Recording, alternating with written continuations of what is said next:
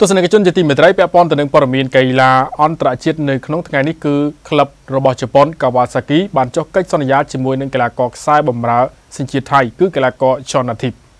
កីឡាករខ្សែបម្រើប្រយុទ្ធលំដាប់អន្តរជាតិរបស់ថៃកីឡាករ Chonatip Song Kransin បានចូលរួមជាមួយក្លឹបម្ចាស់ពីរង្វាន់ជើងឯកជប៉ុន Kawasaki Frontale នេះបើតាមការបញ្ជាក់ពីក្លឹបហើយត្រូវបានចុះផ្សាយដោយសារព័ត៌មាន CNA នាថ្ងៃទី12ខែមករាឆ្នាំ2022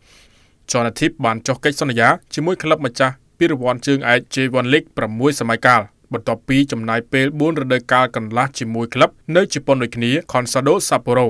កីឡាករវ័យ28ឆ្នាំរូបនេះត្រូវបានទិញមកទៅលេងនៅក្នុងលីក J-League កាលពីឆ្នាំ2018ខណៈក្លឹប Consaldo បានបញ្ចប់នៅក្នុងលំដាប់ថ្នាក់ទី4នៅក្នុងតារាងហើយបានដឹកនាំក្រុមបាល់ទាត់ជម្រើសជាតិថៃទទួលបានជ័យជំនះក្នុងតំបន់ ក្នុងខែនេះនៃព្រឹត្តិការណ៍ការប្រកួតពានរង្វាន់ AFF Suzuki Cup